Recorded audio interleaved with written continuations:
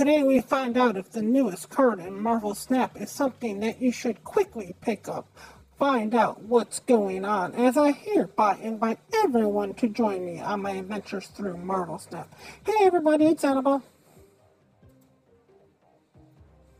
Today we have the card known as Speed. Speed is a superhuman teenager who is the reincarnated son of Vision and the Scarlet Witch, and the older twin brother of Wiccan. His powers come from his uncle Quicksilver, and due to his birth parents being divorced, he got picked on in school. He fought back a lot, and eventually this led to him going to a juvenile detention center where he met a girl who he instantly fell for. And after she found out his story, she made him promise that next time he would run away. Speed tried to run away from his next fight and accidentally vaporized his skull. This caused him to be sent to a high-powered correctional facility that dampened his powers, where they intended to turn him into a weapon, before being rescued by the Young Avengers. The team were searching to find new recruits, as Iron Lad had indicated, and it was only after being freed from his cell that any connection to Wiccan was known, let alone that the two had been twins at one point. Speed's personality was affected after spending years as just a body used for experimentation. The Young Avengers helped him in this regard. He was glad to join up with them as he spent a lot of time in his own isolation, even before being released from prison. He now helps the teams in battles, making quick work of many a foe. He will also quickly develop a playful relationship with anyone on the team who is younger than him or newer than him, making them feel wanted.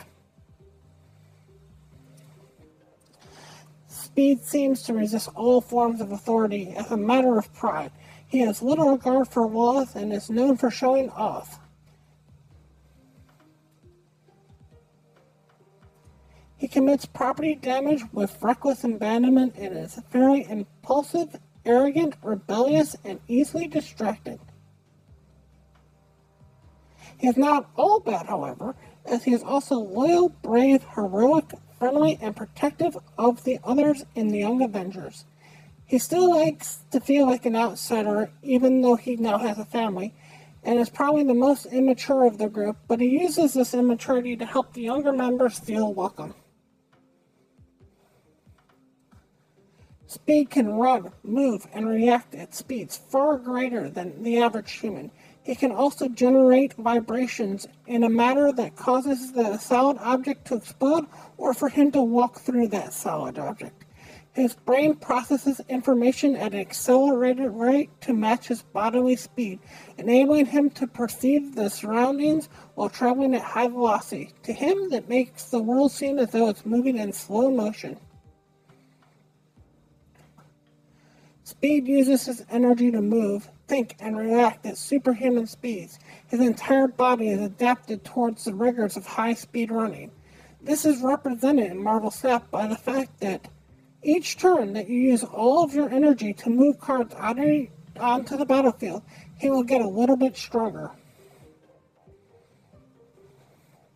So Marvel Snap, he is a 3 cost 3 power with the description of ongoing, he will gain plus one power for each turn in which you spend all of your energy.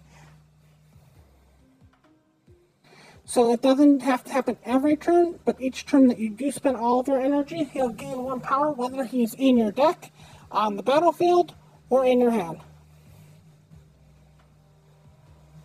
So my recommendation on this particular one is I gave him a 4-star rating. He almost got a five star rating, believe it or not. There are a few things that bring him down from being a complete five star, but there's a lot to go for him being on a four star.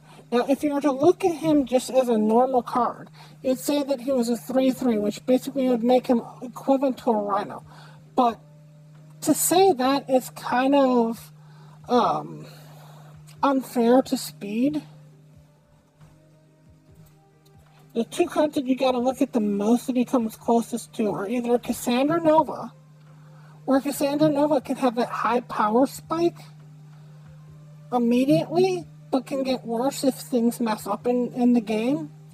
Or the other card you need to really look at, believe it or not, is the Gladiator. Now, you have, on an average game, you have six turns. This starts at three. So if you hit all six turns, this goes all the way up to nine. So if you miss one turn, you're basically at the same point of Gladiator.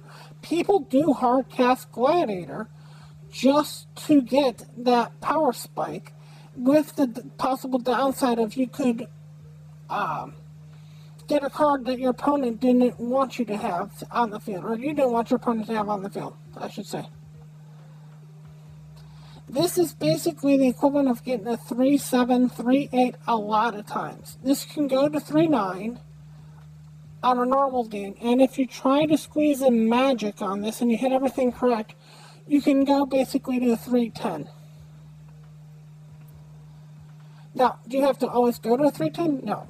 This can basically miss three drops and still be a 3-6, which is average. If you're missing more than three turns where you're not using all your energy in a normal game, you've lost that game regardless.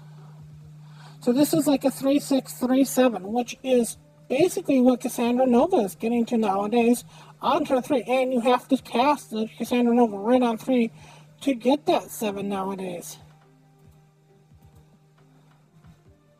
Now there are some um, negatives to this deck. It is susceptible to Rogue, and it is susceptible to Enchantress.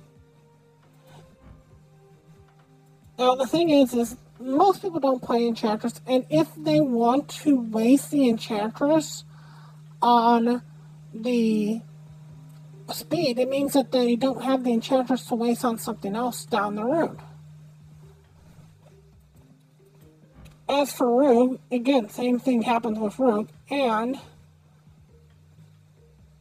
the thing with how speed works is if your opponent isn't built to have this deck, you're now making them either have had to have played correctly up until they play Rogue, which means if they skip a turn or didn't play correctly on a turn or have an energy less, they don't have the same power spike as the speed does, and now for the rest of the game they have to play on curve to get the power off of it. So it's kind of like a red hole being on their side of the screen almost.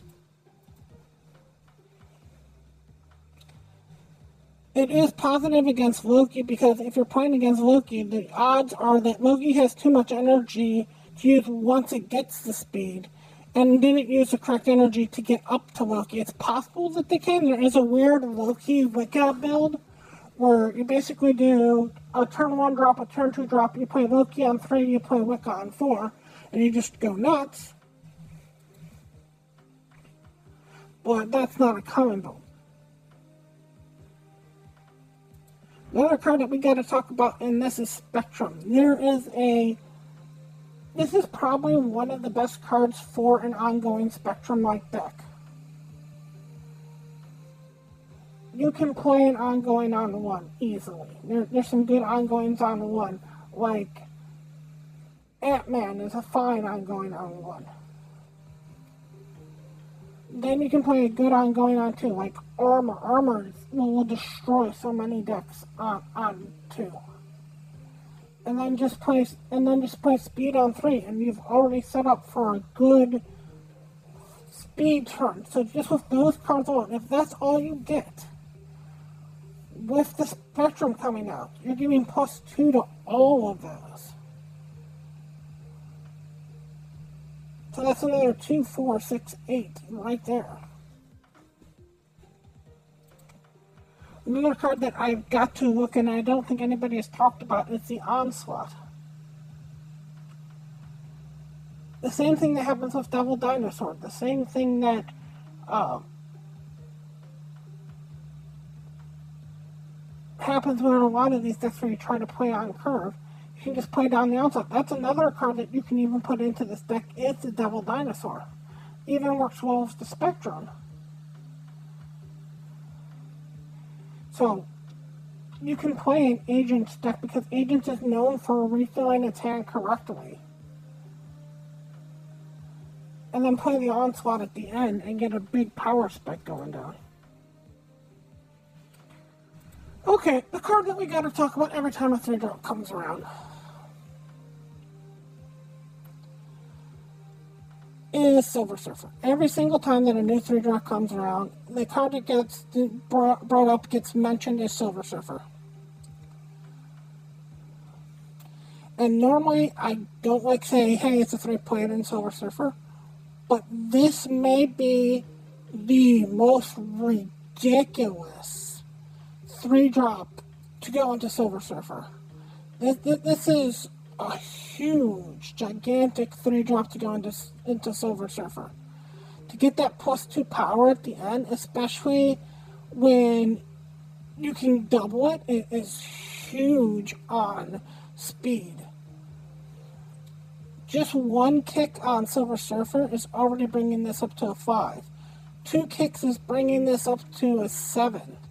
That's with it not without even uh, using energy correctly on any turn. Use energy correctly on any turn, it's already up to an 8. That's huge for a 3 drop. So normally I don't talk about Silver uh, or Silver Surfer in this, I should say. But this is one of the few times where it does make sense. Alright. Let's look at the other cards that we get with this week. This week is a banger week. Besides Speed, we also have Jeff the Baby Land Shark. Jeff the Baby Land Shark is a card that if you don't have by this point, I don't know what to tell you. Just go get Jeff. Although he is starting to come down a little bit in play, that's just because there's a lot of twos that you can play now that makes sense instead of just always being Jeff. But this is also part of the issue with them not wanting to bring down Jeff. A lot of people have Jeff by now. A lot of people have gotten Jeff because it is a card that I would recommend spending tokens on normally. So, the problem is, is that Jeff is good, but the other problem is, is that a lot of people have Jeff. Other than Jeff, we also have Iron Man this, sorry, Iron Lad this week, I should say. Iron Lad is a good card. It's good for on reveal. It basically is a pseudo draw in your deck. It's a pseudo search in your deck. It, it's a tutor, sometimes it's called a 4-6 is still a decently stat line. The pro, again, the issue with Iron Lad is he's been around enough times that a lot of people have him. So for like me specifically, the only card that I would want out of this particular week is the speed because I do think speed is that good. But if you're missing any of these cards, go for it. If you're missing all these cards, definitely go for it. If you're white on tokens, Jeff's gonna come back. Iron Lad. Eh, it's not a bad card. It's just not a card I would recommend if you're white on tokens. Speed, I think, is a card you can just go on. Honestly, Speed might be the best card in this in this three set right now. And that's even with Jeff being sitting there. Alright, let's find out what we get. Boxes. Iron Lad. Alright. That Iron Lad before, I'll try to come up with something interesting for this Thursday. I want to thank you all so much for watching, and as always, remember, play for fun.